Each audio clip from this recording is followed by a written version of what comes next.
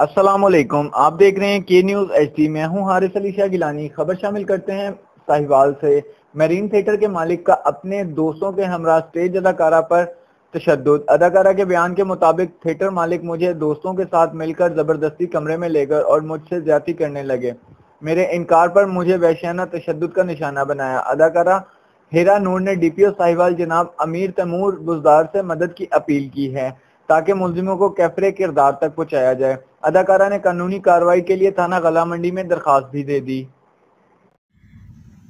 असलकुम मैं Heera Noor, stage artist. Marian theatre में ड्रामा करने आई थी। मैं कोई गलत काम नहीं करती। मैं यहाँ पर आई हूँ ड्रामा करने के लिए। थिएटर ओनर ने शफाक बाजवा, खुशी बाजवा, साथ में उनके चार, पाँच छः सात दोस्त थे।